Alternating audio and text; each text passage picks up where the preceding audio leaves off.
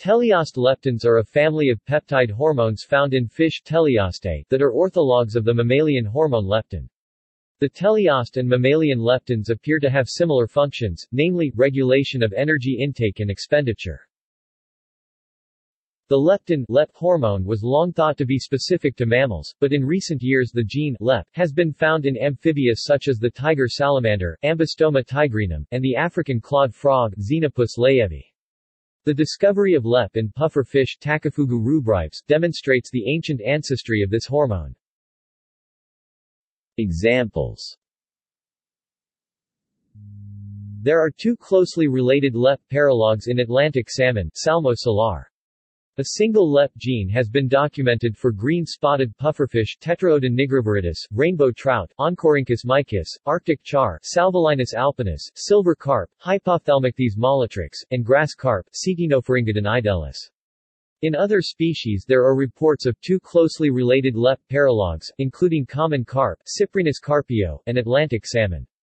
More distantly related LEP genes have been found in Medaka Oryzias latipes and zebrafish Danio rerio. At least two leptin genes LEPA and LEPB exist in the crown clade Fig. 1. Early findings have shown that LEPA and LEPB share low interspecies identity, and are argued to have arisen through whole genome duplication, which occurred early in the teleost lineage. The duplicity of genes has been described for Atlantic salmon, Japanese medaka, common carp and zebrafish. Both LEP paralogs cluster with LEPA, and therefore suggest that at least one or more form LEPB may exist in this species, since it is tetraploid. However, previous attempts using genomic synteny have only found the putative genomic duplicates in Medaka and zebrafish paralog. Currently it remains unclear, whether LEPB exists in other teleosts due to the degenerative nature of this paralog. Comparison with mammalian leptin the large differences among endothermic warm-blooded mammalian and ectothermic cold-blooded teleost leptins raise the question of whether the energy homeostatic functions of the teleost leptins are conserved. Initial phylogenetic analysis has revealed that amino acid conservation with other vertebrate LEP orthologs is low, with only 13.2% sequence identity between Torafugu and human LEP. Subsequent investigations have confirmed the low amino acid identity of teleost LEPs compared to mammalian LEP. Structure The three-dimensional homology modeling predicts strong conservation of the tertiary structure between Atlantic salmon and other teleost LEPs compared to their mammalian orthologs Fig. 2. Both LEPA-1 and LEPA-2 have two characteristic cysteine residues which predict the formation of a disulfide bond in LEP, which is a prerequisite for this 3D configuration and bioactivity of human LEP. The models suggest that the bonding of LEPA-2 might be different from LEPA-1. There are several differences between the 3D structures of LEPA-1 and LEPA-2, e.g. alpha helix 5 is considerable shorter in LEPA-1 than LEPA-2. Furthermore, alpha helix 1 for LEPA2 appears to be split by a short disordered region, and may therefore have a poorer affinity. However, considering that it is a predicted model based upon the structure mask of human LEP, the significance of these putative conformational adjustments remains to be tested. The importance of the conserved tertiary structure of LEP is most likely explained by requirements for specific LEPR binding affinity and is constrained by the structure of the receptor binding pocket. This might also explain some of the results from studies on teleost using heterologous mammalian LEP. E.g. Treatment with the mammalian hormone caused an anorexic effect in goldfish Carassius auratus and green sunfish cyanellus, but not in coho salmon Oncorhynchus kisutch, channel catfish punctatus, and green sunfish. These contradicting results have been explained by the relatively large differences in amino acid sequences observed between mammals and fish. Ronestad and colleagues recently detected five isoforms of the leptin receptor LEPR that have differences in 3 end of the mRNA sequence. Of these, only the longest form conserved all functionally important domains, such as three fibronectin type 3 domains, the IGC2-like domain, a pair of WSXWS motifs, two JAK2 binding motif boxes, and a STAT binding domain, while the other four forms have only the intracellular region. The long form of mammalian LEPR has a function for full signal transduction through the JAK-STAT pathways, whereas the shorter forms exhibit partial or no signaling capabilities.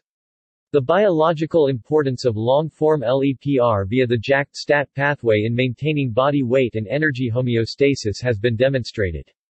Previous studies in teleosts have only identified a single LEPR. Ronestad et al. is the first to report that plural LEPR transcripts in any ectotherm species. When looking at the available motif for LEPR, the model suggests that it would bind easily to LEPA1 and not LEPA2 Fig2. Furthermore, the relatively ubiquitous expression of LEPR in salmon tissues supports diverse roles of LEP in teleosts. Tissue distribution The study on Torafugu indicated that LEP is mainly expressed in the liver in contrasts to the adipose secretion in mammals. However recent studies have shown that LEP is expressed in several peripheral tissues, including intestine, kidney, ovary, muscle and adipose tissue. The multiplicity of LEP genes and their low conservation in teleostae suggest that their physiological roles may be more divergent than reported for mammals. The tissue expression pattern for the Atlantic salmon LEP paralogs differs substantially Fig.3 and hence indicates a possible difference in function. With the exception of the results presented here, and those for zebrafish and Japanese Medaka. Few studies have investigated the broad tissue distribution of LEP in teleost fishes. The more distantly related LEP genes LEPA and LEPB show distinct differences in tissue distribution, as shown in e.g. Medaka, where LEPA is being expressed in liver and muscle, while LEPB is more highly expressed in the brain and eye.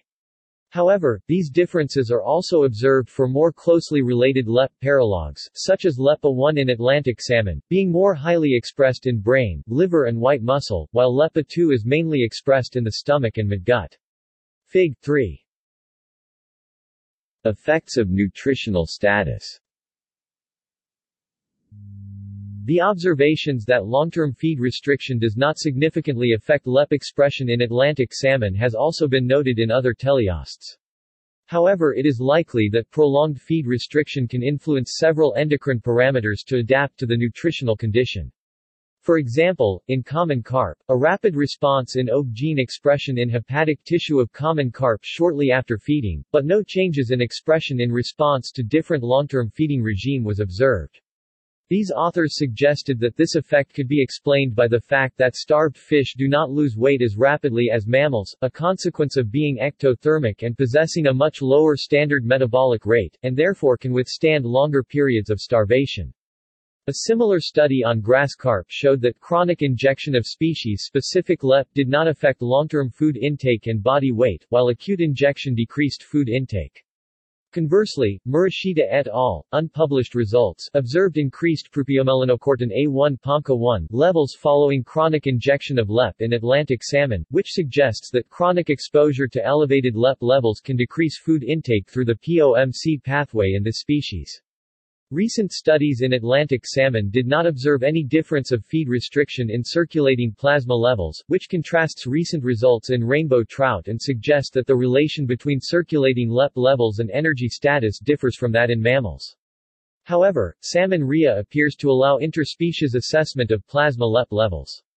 This only confirms that more comprehensive studies are needed for conclusive data interpretation.